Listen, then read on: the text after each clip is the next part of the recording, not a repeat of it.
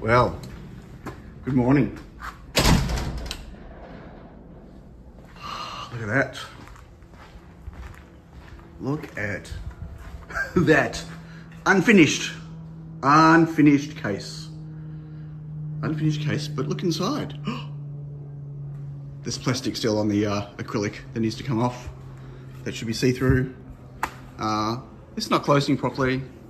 This is the beta kit for the case. I'm still printing, as you can see. There's gaps. None of the electronics are inside here yet.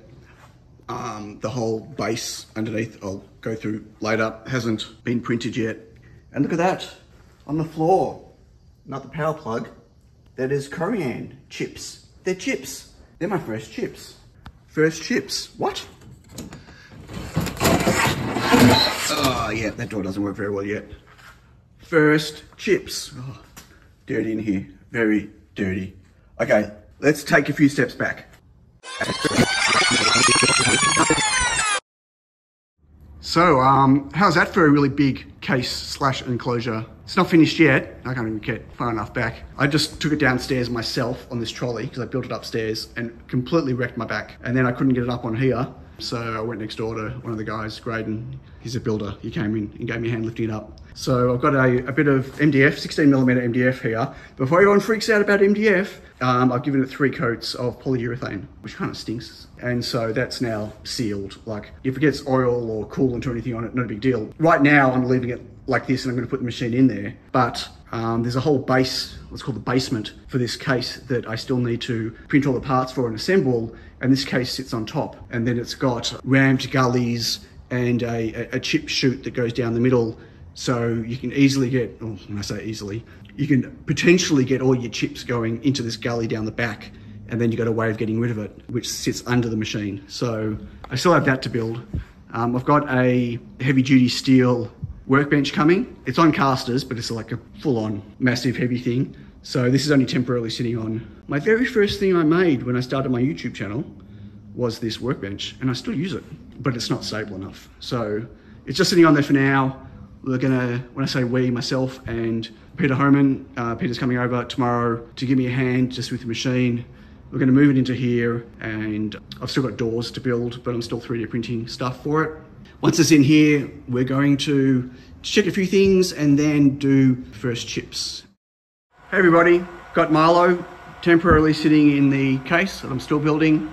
Got um, 3D touch probe in there. I've got some Coralline plastic clamped in here. I've got a uh, fusion job that's been set up just to cut basic shapes, a pocket and some other stuff, cutaway stuff, just for a first test. Haven't cut anything on this before. I've currently got just my uh, packing computer over there that's I'm going to be running it from. And I've got Peter Homan here, who does not want to be on video. So, hi Peter! Good. Uh, he's been helping me with all this stuff. So um, I'm going to get it ready to do a first cut. And I'm sure it's going to be a disaster. Right now going to probe this corner over here to get the height of the bed. I don't have any lighting inside the case right now. It's a black case, so it makes it dark in here. I'm going to put some 12 volt RGBW LEDs in there. But anyway, proby proby.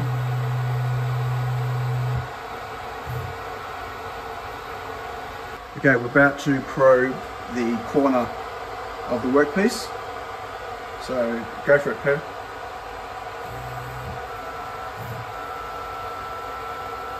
Works out the height.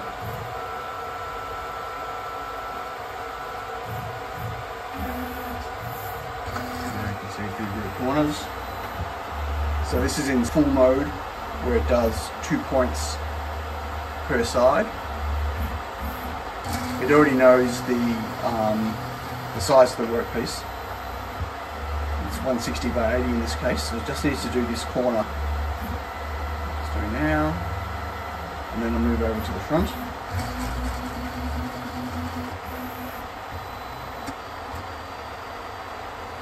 And once this is done, I take the probe out and put a 6 mil single flute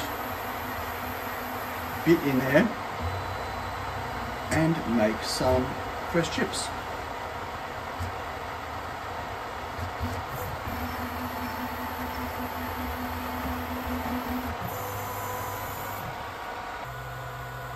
Okay, the bit is in and it is now measuring the tool height.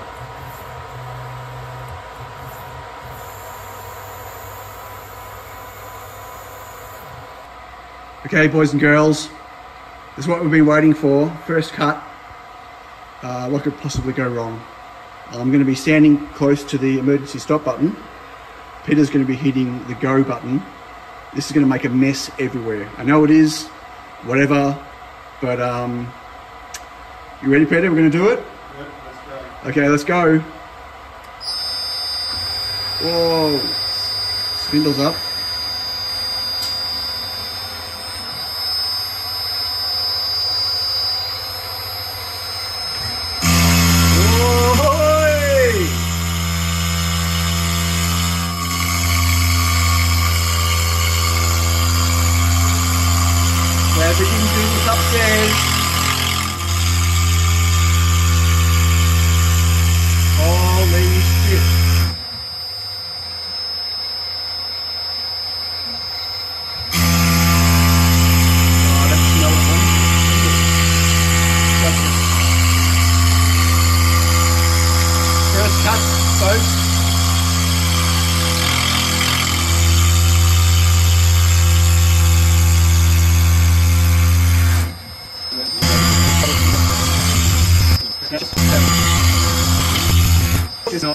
a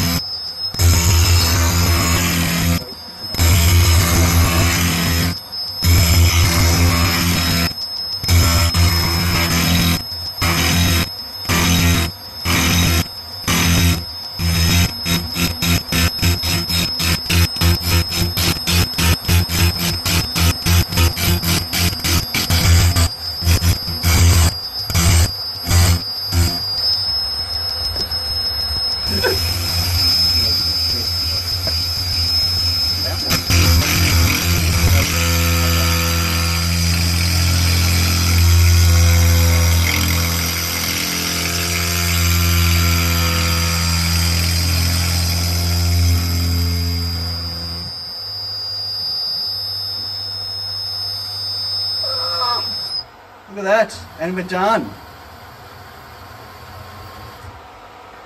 First cut.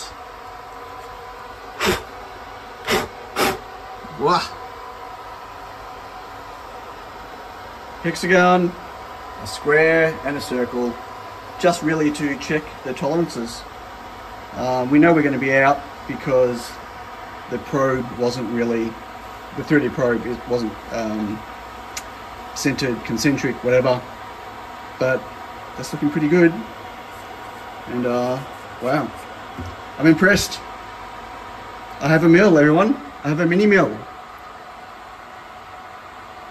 Might even finish it one day. Case, lighting, doors, vacuum, base, all the things. But um, there you go. That is very, very cool.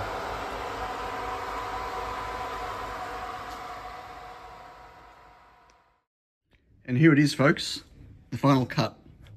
Oh, look at the state of my desk. it's completely scratched it up, building the Arctos robot and Milo on here. There it is. And it cut really well. Better than I hoped it would on the first cut, considering it was me that built the machine. Looking forward to experimenting with aluminium. That was the main reason I got the machine. Yeah, I mean, the circle is a circle. And the even though I know that the tolerances are, are, slightly out, the measurements are slightly out because of the that probe not being concentric, they're um, the X and Y are correct on these. Like the size of proportions of these are correct, but they're just you know they're I think within point one millimeter out. So that's supposed to be 30 by 30 millimeters and it's 30.1 by 30.11 or something. So it's pretty close. Definitely good enough for anything I need to make and manufacture for myself. But it'd be nice to work out how to calibrate that probe so it'll actually be 30 and 30. Anyway, that's it. I hope you really enjoyed this video. I hope you enjoyed it as much as I enjoyed finally having a mill and how excited I got when it first started cutting. Thanks. Catch you all later. Don't forget to like. Bye.